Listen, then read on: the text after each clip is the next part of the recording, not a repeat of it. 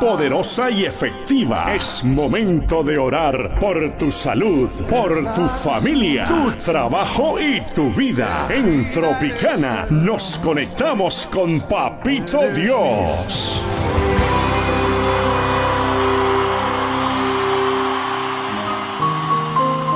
Son las 9 de la mañana 29 y esta oración de sanación en este lunes, arrancando semana, lunes 2 de agosto, además, es una oración más de gratitud, pero también de sanación.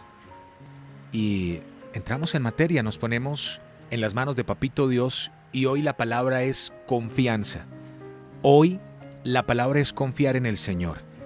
Y a pesar que estés en este momento atravesando ese desierto complejo donde crees que no hay salida, es tiempo que sientas que a pesar de esta situación algo te va a enseñar, pero allí está la fuerza de Jesús para sacarte y para que aprendas, porque si somos fieles en lo poco, siempre Jesús nos da más.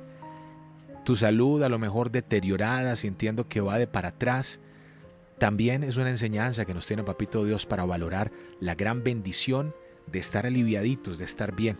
Y sé que en su infinita misericordia Jesús se va a compadecer de ti, de todos nosotros y nos dará la salud y la sanidad. Es momento de bendecir tu trabajo, es momento de bendecir tu camino, es momento de dar gracias.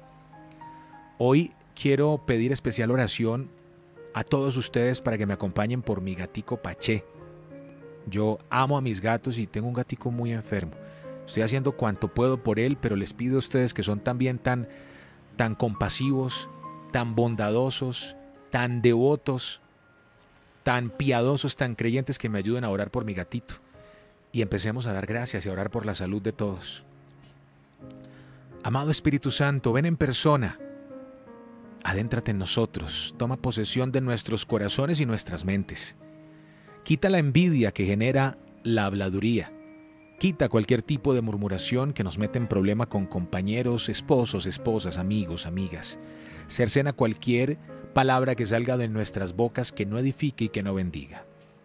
Quita, Espíritu Santo, cualquier tipo de pensamiento impuro, vengativo o de maquinación malvada. Aléjalo de nuestras mentes y que simplemente tengamos en nuestro pensamiento servir a Dios, honrar a Jesús y darle gracias por este nuevo día. Gracias, amado Jesús, por esta semana. Te la entregamos completa y te pedimos, amado Señor, que tú en tu infinita misericordia y en este amor que siempre nos entregas a diario, hagas que nos enteremos que estás ahí para nosotros.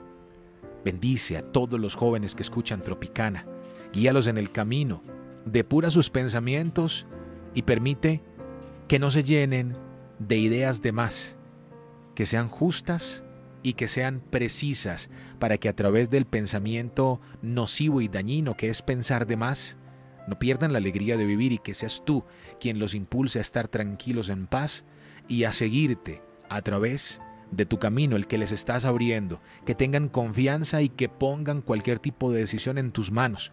Oramos para que esta juventud siempre tenga una pareja buena, que los ayude a estar más cerca de ti, que los alejes tú, Señor, de cualquier mala compañía, de cualquier tipo de drogadicción, protege a los hijos de nuestros oyentes de cualquier tipo de mal y peligro y que siempre tengan en sus cabecitas y sus corazones lo bueno, lo que es de ti, Señor, y lo que es provechoso para ellos y también para tranquilidad de sus padres.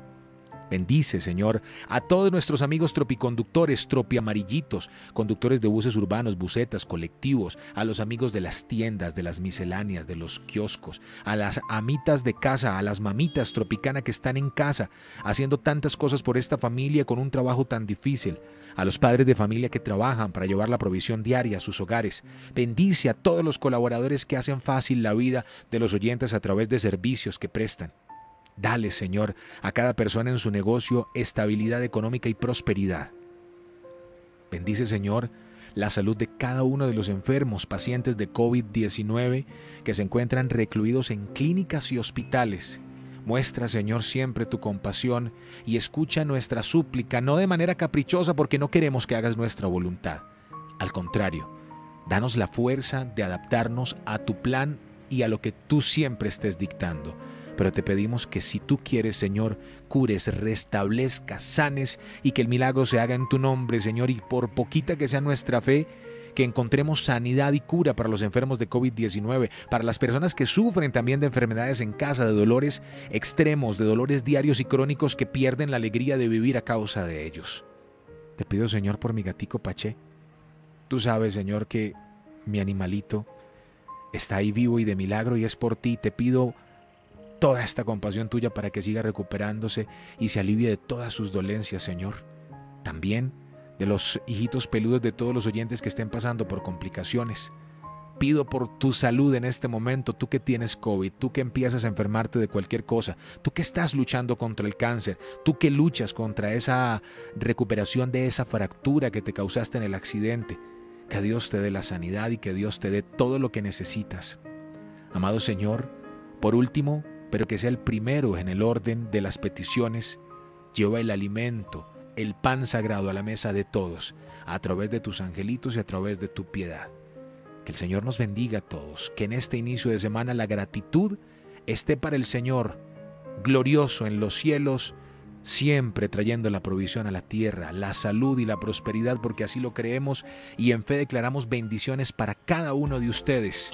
Que el Señor los bendiga, que el Señor los llene de paz, que los llene de amor, que el Señor siempre esté con ustedes en este nuevo día.